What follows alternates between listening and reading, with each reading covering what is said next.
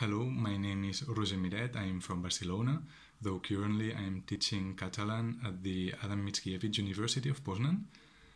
And for this Sant Jordi, the day of books and roses, I would like to recommend one of my favorite novels, La Plaça del Diamant, by Mercè Rodoreda.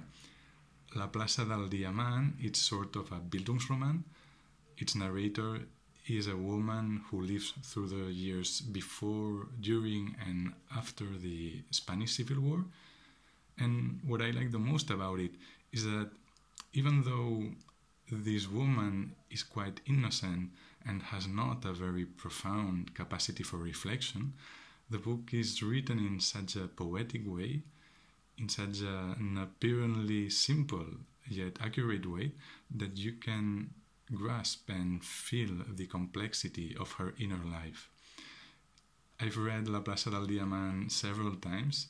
Each time it gets better, and it's been translated to many, many languages, so I think it's a good option to give it a chance.